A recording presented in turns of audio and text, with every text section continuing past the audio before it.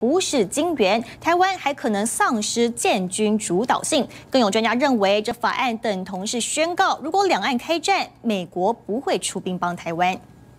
美国参议院外交委员会通过新版台湾政策法案，包含要对台湾无偿提供五年六十五亿美元的军援。若是大陆侵台，美国将制裁大陆高官，同时建议我驻美代表处改名为台湾代表处。专家说，这代表美国将全面介入台湾建军，我国将丧失主导权。重点是，这六十五亿是给军备，不是钱，给的军备还未必是军方要的。台湾别高兴太早，看起来好像是无偿啊，其实也不可能完全无偿啊，这个大概是半买半送。我们希望 F 三十五他也不给嘛，对吧？我们希望很多比较这个新新一代的武器他也不给嘛，他给你的可能都是中国的武器。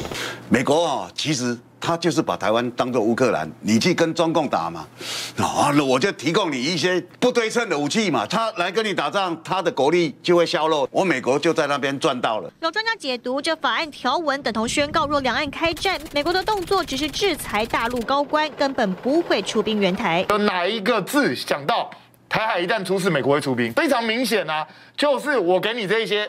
军援给你这些东西，然后你台湾自己打，有机会的话，继续再提供你一些武器，然后我帮你谴责对方，我帮你国际制裁对方，剩下各安天命吧。哎，美国摆明就是这样，不是吗？真的以为那四十五亿是钱啊？光是训练费可能都不止。新版台湾政策法实质利益还不知道，但已严重激怒对岸，就怕在美中两强互斗下，台湾恐沦为斗争下的牺牲品。有张正美、李学 S N G 小组台北报。